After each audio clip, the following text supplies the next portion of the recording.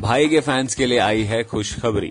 शुरू हो गई है सलमान खान की फ़िल्म राधे की शूटिंग भाईजान ने दिखाया है अपना दमदार अवतार। एक्टर सलमान खान ने संडे को पोस्ट कर फैंस को बताया कि उन्होंने Radhe your most wanted Bhai film की शूटिंग शुरू कर दी है।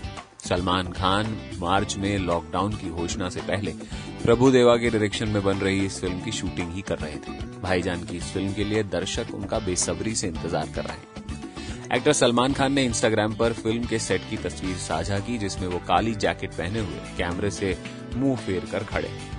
उन्होंने तस्वीर के साथ लिखा, साढ़े छह महीने बाद शूटिंग पर लौटा हूँ। फ़िल्म अगले साल 22 मई को रिलीज़ होगी। फ़िल्म में सलमान खान के साथ एक्ट्रेस दिशा पाटनी नज़र आएँगी, जो भारत में उनके साथ काम कर चुकी है। फ़िल्म के दो गानों की शूटिंग और लगभग पाँच दिनों का काम अभी बाकी है। कोरोना संकट के समय सावधानी बरतते हुए टीम ने यात्रा से बचने के लिए स्टूडियो के करीब एक होटल को बुक करा लिया ताकि वो स्टूडियो के पास रह सकें। सुरक्षा के लिहाज से टीम के किसी भी सदस्य को बाहरी लोगों से मिलने की अनुमति नहीं है। फ़िल्म राधे की प्रोडक्शन टीम के करीबी सूत्रों ने बताया कि पूरी टीम का कोविड 19 टेस्ट किया गया, जिसमें से कोई भी कोविड पॉजिटिव नहीं पाया गया।